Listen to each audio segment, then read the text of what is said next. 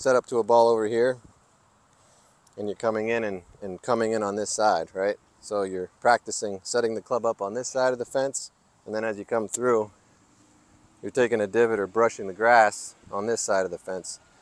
It just gets your body to understand and to control the club face so it's not reaching out too far and hitting the, the hosel. Just be like full swing, half swing.